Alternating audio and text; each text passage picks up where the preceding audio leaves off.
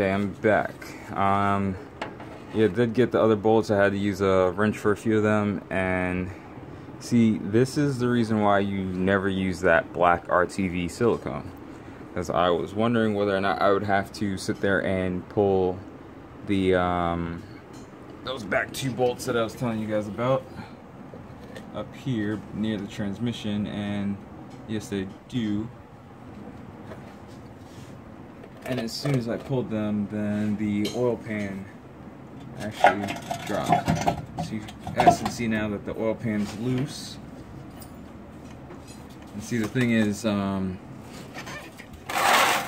that gray silicone that I'm telling you guys about, uh, if that was used, this would not happen because that gray silicone actually holds pretty well.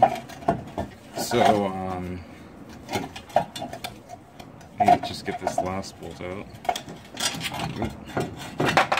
It does look like I have enough space to um, almost completely slide it out. Made a bit of a mess because um, there was still a lot of oil actually in the top part of the oil pan. Let's see if I can get a better view for you guys. So as you guys can see up there that's almost out and for the most part looks like it's almost completely clear. Again bear with me.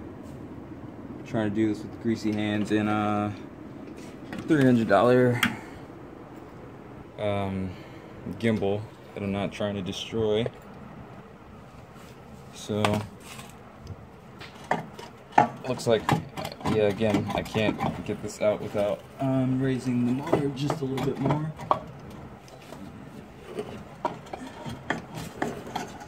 Doesn't seem like it needs much, just a slight bit. So I'm gonna see if I can um, raise the motor up a little bit more. And get the oil pan out. And away we go.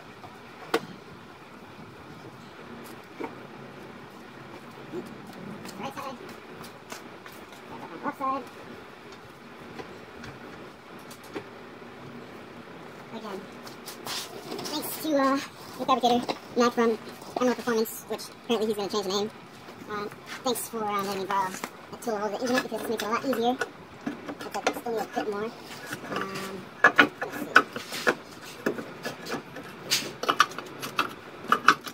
Let's see what's the easiest way to get this out. This is actually my first time doing it with these.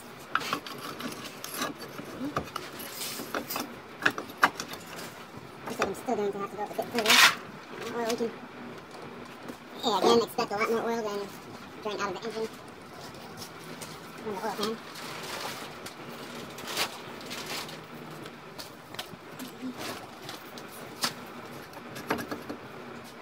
Again, this cheap silicone. I'm gonna go up a bit further with the engine. Running out of space just slightly, so let's see how this goes.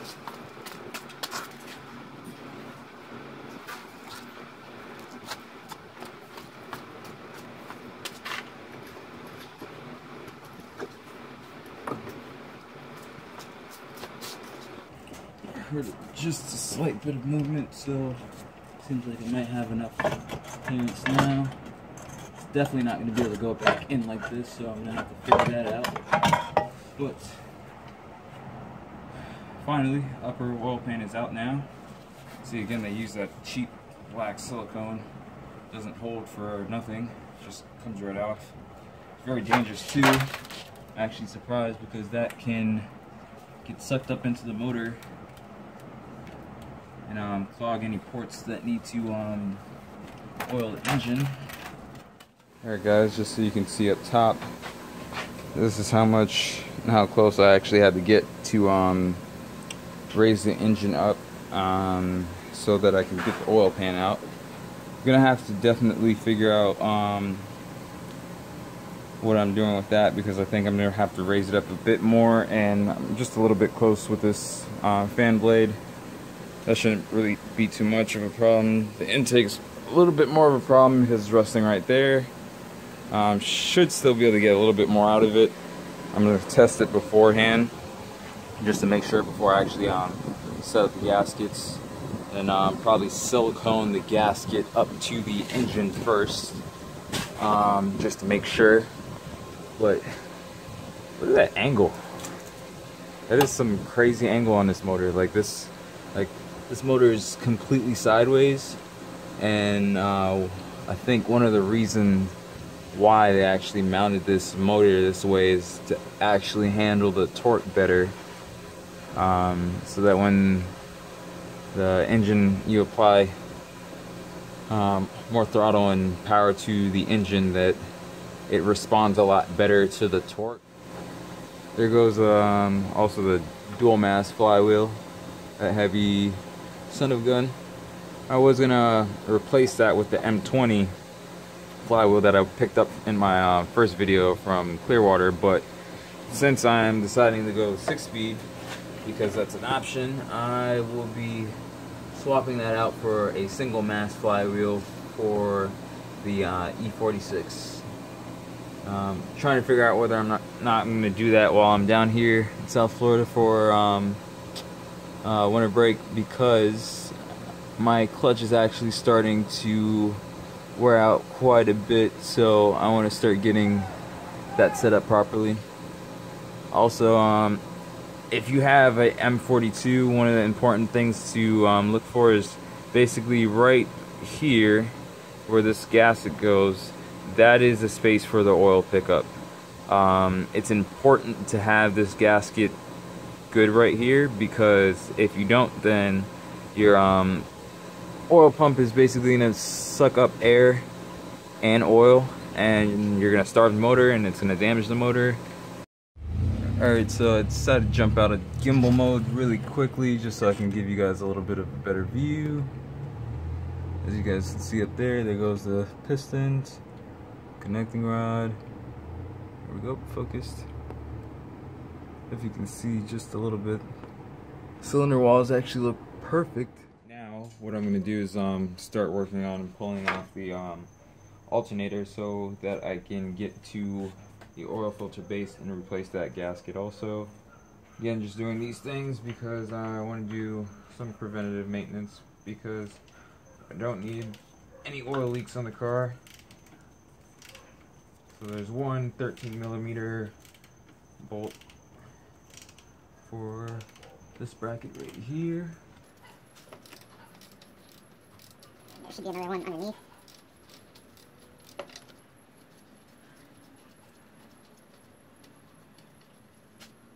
Let me see if I can get away with um just pulling the bolts for the alternator and um not actually um removing any wires that connect the alternator. Yeah. You're gonna need a 13 millimeter wrench also, um, so that you can that easier. And it's a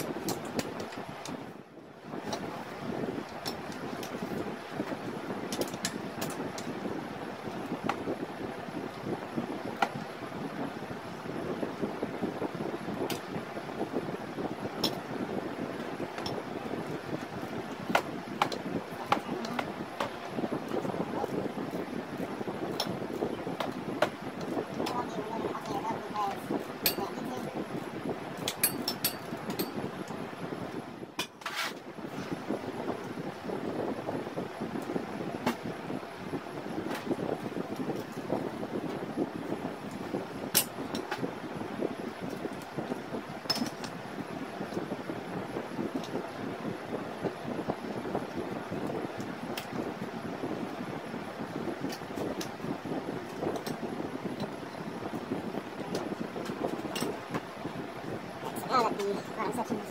Yep.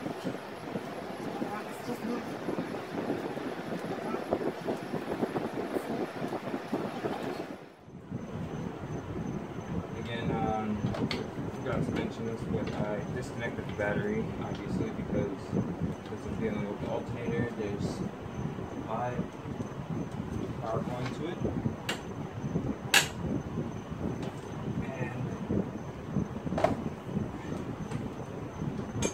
Sparks flying everywhere.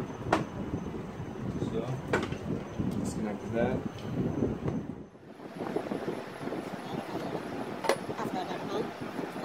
port full. And it's rubber bushing.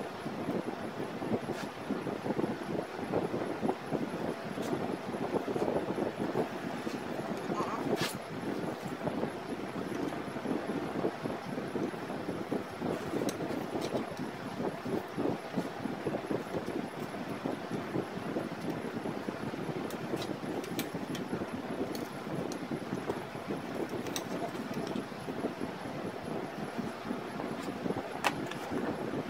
So, I gotta go for the boss. And again, it's the first time I'm, you know, not really doing a deal like this on this car, so, bear with me. Last one. And I got camera back off. Show down, place this ground, but do not have the another one right now, so get replaced later.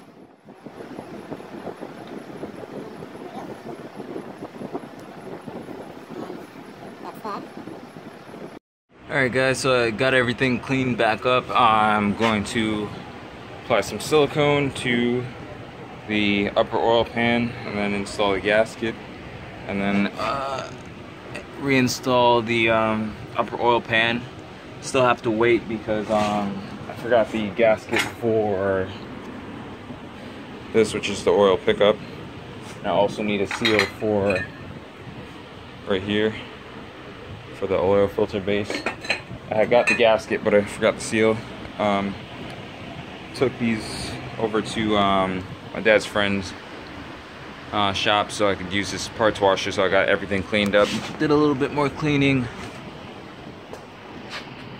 Again, some more cleaning up here. And I decided that I'm going to install the turbo. So that will be in my next video. So look out for that. Okay, so I got the um, silicone or the gray Permatex um, silicone gasket maker on. Another benefit of doing this, um, it will hold the actual gasket in place. As I, as you notice, I don't really use too much because again, um, when you tighten up the um, the oil pan, it's going to squish that out, and if you use too much, then that will get into the, um, the oil pan itself on the inside. And if you use a whole lot, that can um, drop into the oil and then get sucked up into the um, oil pickup, and that will block the oil pickup and starve the engine. Um, again, uh, you don't really need too much. You just want enough so that it will hold the gasket in place while you're trying to um, install the oil pan, and also to just make a slight um, double barrier so it gives the um, gasket a little bit of an extra life. Okay, so now I got the gasket on. Another thing is um, once you get the gasket onto the oil pan itself, you it's always good to give it like a few minutes, like say uh, two minutes, maybe five minutes if you want. Um, that will help dry the silicone, so then it helps the um, gasket stick to the the oil pan a lot better. So you're not really fighting the gasket because again, you don't want any of um, this to like move around, slip, or anything like that. So it just makes your life a whole lot easier. Um, it makes installing it a whole lot easier. Um, just helps you give helps give you a, a better seal for everything. Um, and just makes your life a lot easier because if you're doing this like I am, like by yourself, then it's can be a little bit tricky to get it up and actually get it installed, especially without using this trick to help you. Again, um, this is really good because it will help you install it with um, minimal effort and um, minimal trouble. Again, for the E30s, right here is an important part. You don't want um, this part of the gasket to slip or get damaged, so um, helps you a whole lot. Um, another tip is you can use brake parts cleaner to um, spray down the engine because normally what will happen is you'll have the oil that's left on the inside of the engine run down and when that runs down and you use the silicone that actually breaks the seal from the um, the gasket. So um, the gasket will seal but then you won't really have adhesion from the silicone. So then that kind of defeats the purpose. So if you spray down um, the bottom end, so you spray down uh, the crankshaft, um, pistons, um, sidewalls, pretty much um, the inside of the block, anywhere where you see oil pretty much running down. If you spray those things down beforehand, again, it gives you a lot less trouble getting the gasket up, a lot less um, risk of having the um, silicone slip and then um, having leaks pretty much. So if you're doing this, that's another good benefit of uh, using the gray silicone Permatex.